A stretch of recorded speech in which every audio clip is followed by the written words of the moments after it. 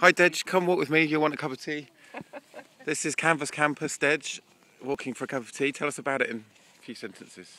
Oh my god. I've got a terrible cough. Um, Canvas Campus has been going for three Keep, years. keep walking. And um, uh, this is our best year. We've had fantastic weather, we've had fantastic speakers, we've had fantastic food. Yeah. Um, Just going to see the, the vista in the background. and um, what can I say? Christopher Hedley comes every single year. And uh, this year we've had people like Steve Taylor and um, who else have we had? Um, I've done a few talks and um, had Robin We've and had Max Drake and Robin James, um, and I'm feeling terrible because I can't remember anybody else. Uh, Paul Golden. the concept in a nutshell.